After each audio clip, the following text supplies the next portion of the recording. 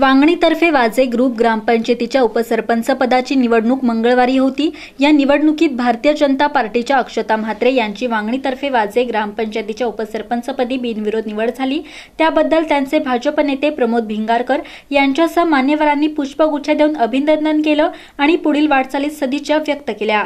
पनवेल तालुक्यातील वांगणीतर्फे वाजे ग्रुप ग्रामपंचायतीच्या उपसरपंच पदाच्या निवडणुकीत भारतीय जनता पार्टीच्या अक्षता प्रवीण म्हात्रे यांची बिनविरोध निवड झाली आहे. यानिमित्त सरपंच सुरेखा पवार मोह अध्यक्ष मोतीराम पाटील माजी सरपंच सुधीर पवार गुरुनाथ भोईर प्रमोद म्हात्रे पांडुरंग मोरे सतीश मालुसरे वांगणीतर्फे वाजे ग्रामपंचायत सदस्य संतोष शेळके सदस्य संपदा पालव लीलाबाई कातकरी दिलीप म्हस्कर महेंद्र भोईर दीपक पाटील तुकाराम पाटील अनंता पाटील गणेश पाटील अशोक पवार मोतीराम शेळके मयूर खरत यांच्यासह उपस्थित मान्यवरांनी पुष्पगुच्छ देऊन त्यांचं अभिनंदन केलं.